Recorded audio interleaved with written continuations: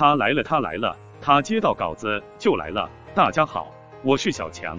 布鲁克林篮网篮网晒杜兰特、欧文训练照，北京时间十二月十三日，美国媒体 NBA 分析网大胆展望了布鲁克林篮网队二零至二一赛季的四个点，这其中有些是关于凯文杜兰特。文章开篇写到，一支东部的季后赛球队增加了一名超级巨星与一名全明星控卫，这让篮网新赛季有了冲关的本钱。纳神、德安东尼、雅克沃恩等高水平教练组也是他们夺冠的要因之一。出于这些考虑，我们大胆预测篮网新赛季：第一，交易截止日前再增加一个球星。篮网在休赛期就对詹姆斯·哈登进行过追逐。但篮网的筹码无法打动火箭，让这笔交易搁浅。但这说明了篮网迫切的希望再增加一个球星来组建三巨头：德罗赞、奥拉迪波、扎克拉文、阿隆戈登等都有可能成为这支篮网交易的对象。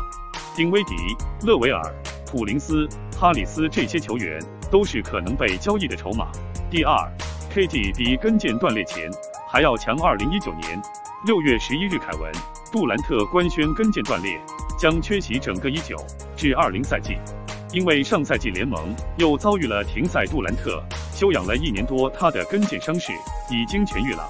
一八至一九赛季的 KD 场均拿下二十六分、六点四篮板、五点九助攻、零点七抢断、一点一盖帽，命中率百分之五十二点一，三分命中率百分之三十五点三。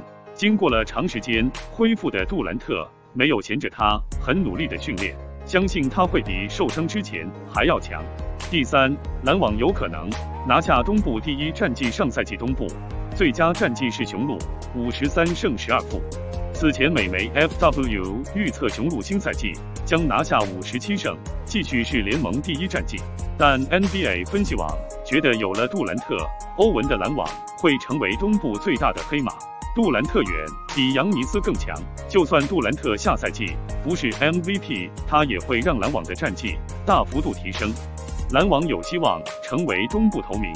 第四，篮网与湖人会师总决赛，最终篮网取胜，杜兰特 FMVP，这第四条信息量巨大。NBA 分析网认为，篮网不仅会拿下东部第一战绩。还会在季后赛中过五关斩六将挺进总决赛，而总决赛的对手不是别人，正是卫冕冠军洛杉矶湖人。